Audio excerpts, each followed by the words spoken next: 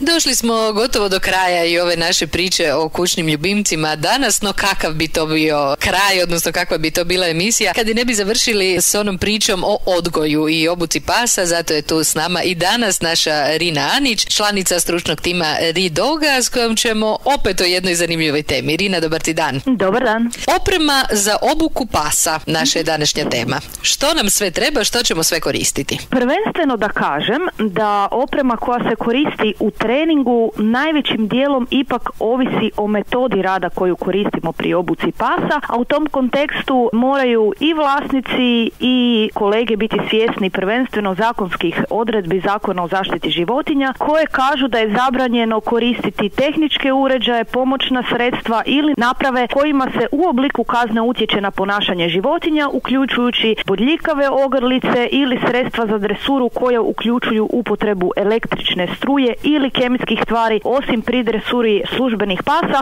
a tu moram napomenuti da sukladno zakonu to nisu službene pasmine, već psi koji imaju licenciju za rad i služe za obavljanje poslova pojedinih državnih tijela, znači MUPA i MORHA. Sad si nas malo skoro pa prestrašila. Kakve su te ogrlice zapravo, kako funkcioniraju? Takve ogrlice funkcioniraju po principu da se uslijed kratkog trzaja rukom vodiča tegnu oko vrata životinje ili da pritiskom tipke upravljača ispuste elektroval određene voltaže i pritom naravno nanesu životinji bol i neugodu. Eto, mnogi ljudi koji koriste i zagovaraju upotrebu ovakvih naprava kažu da životinju taj zatez oko vrata ne boli jako i da se u treningu koriste samo ti nekakvi kratki trzajevi nakon kojih se takva ogrlica odmah opusti ili da ukoliko pak pričamo o tim takozvanim elektrošok ogrlicama rade na vrlo niskim voltažama. Međutim, mi zaista trebamo po meni biti svjesni da to da ne boli životinju, to se prvenstveno ne bi koristilo. Mislim, zato što princip e, metode u kojoj se koristi takva oprema je upravo kažnjavanje životinje za loše ponašanje, odnosno da se u tom trenutku kada pas napravi nešto što mi smatramo lošim, su zapravo nanese e, bol i neugoda. Sve što uključuje elektrošok meni nikako ne zvuči dobro, moram priznati da na svom psu to ni u ludilu ne bih e, isprobavala, zapravo mi sve to skupa zvuči prilično opasno. Apsolutno je, eto osim što je upotreba takvih naprava kao što sam rekla zakonom zabranjena, zaključci zaista brojnih studija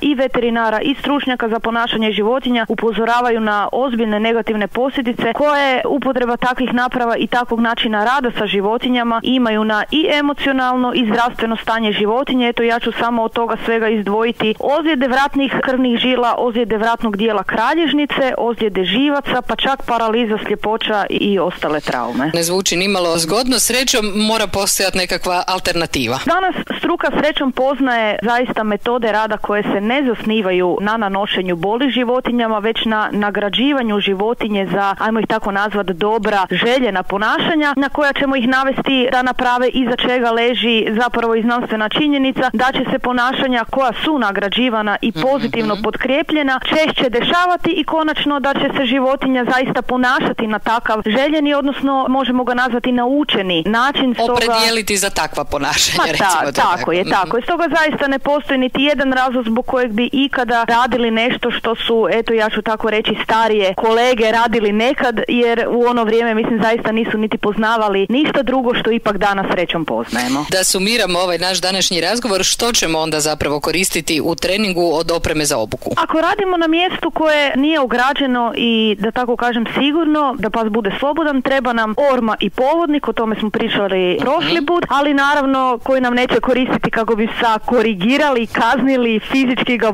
vukli ili postavljali određene pozicije, već da nam je pas znači zbog sigurnosti na povodniku i uz to nam je potrebna torbica za poslastice, po mogućnosti kliker, puno dobre volje i raspoloženja te naravno teoretska i praktična znanja i vještine kako o radu sa životinjama, naravno tako i svemu ostalome kako bi znali što i kako trebamo raditi. Lijepo smo to zaokružili Rina, hvala ti lijepa i danas neka nova zanimljiva tema na repertoaru nam je kroz tjedan dana. Hvala. Može, hvala vama.